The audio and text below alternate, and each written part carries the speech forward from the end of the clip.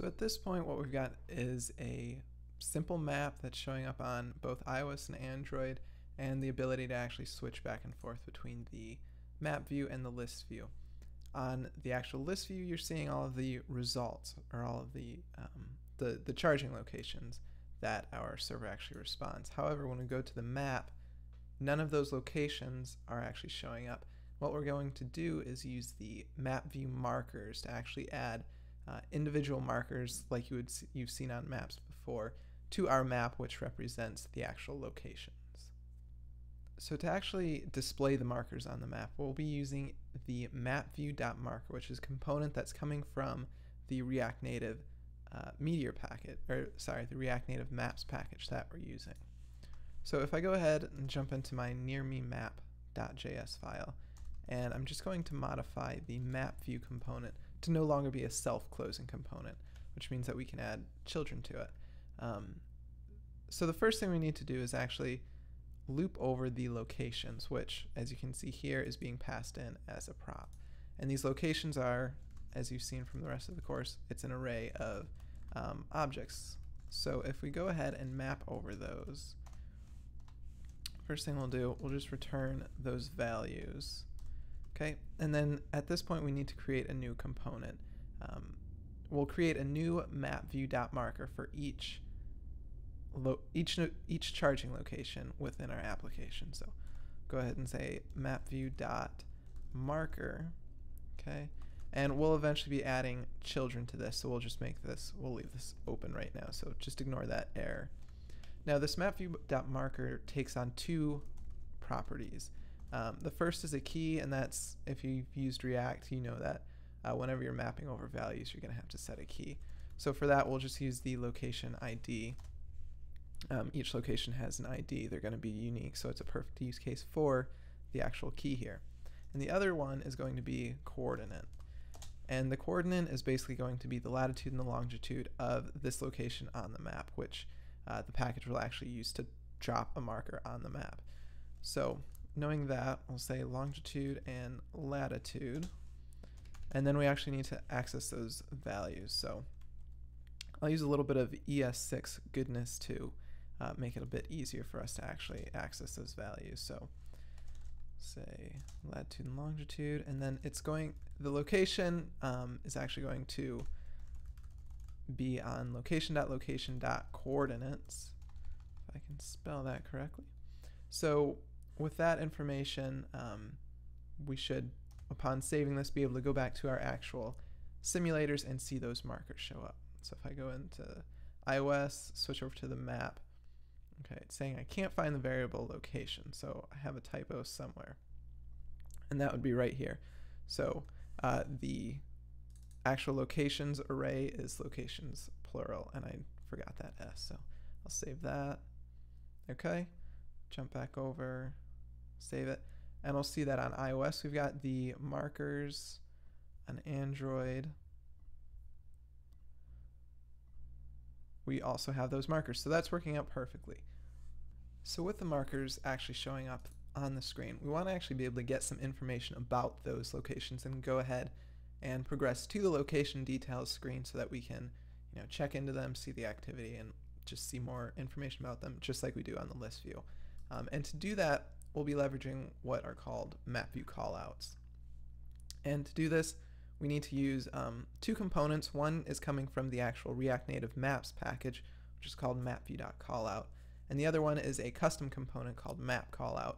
And if you've downloaded the starter app, um, the code is already in your project. If you start this project uh, in an earlier version, then you might have to uh, create those components and the, all that code is in the actual lesson itself, so you can get that there.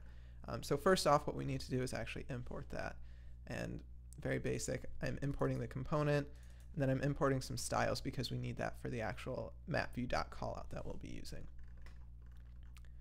So then by scrolling down, um, a callout belongs to a marker, so we'll add that as a children, as a child to the actual mapview.marker we've already got there. So to do so, I'll say mapview.callout.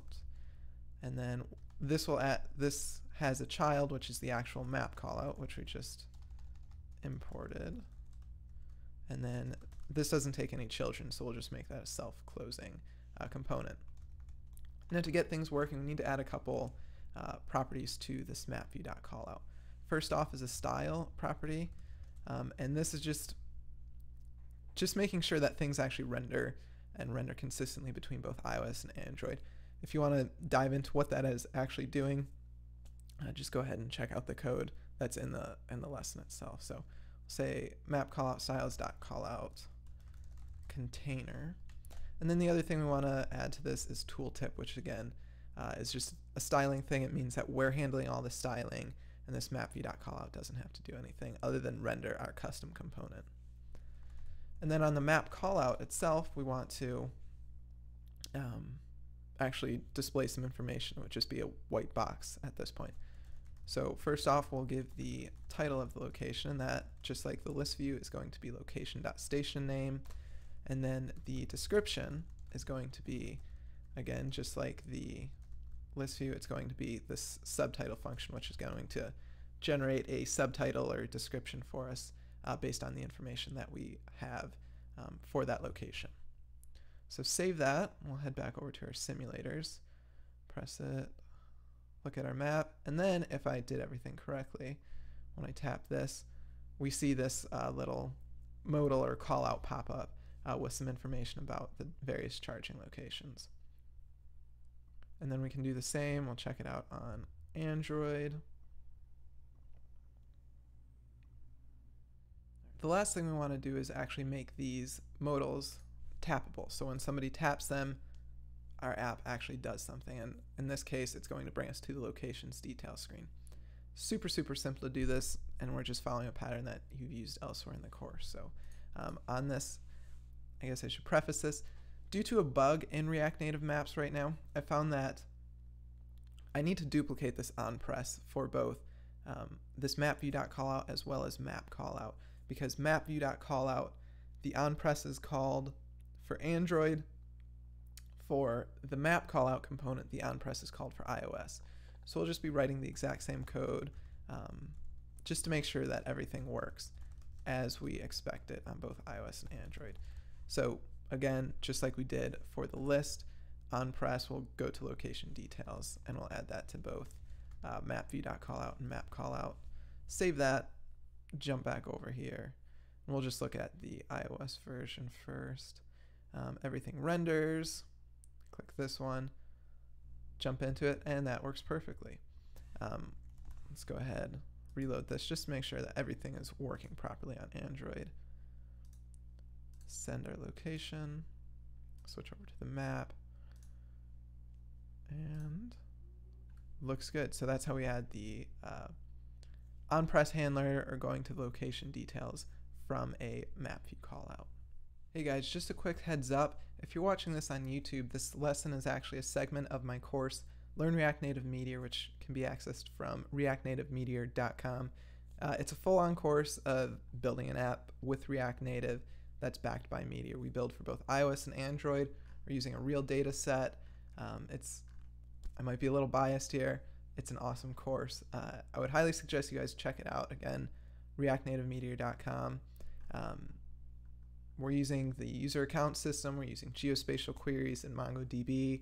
Um, there's an awesome community that you can join on Slack. We've got well over 120 people now. So would love to have you. Go ahead, check out reactnativemeteor.com if you uh, enjoyed this lesson preview.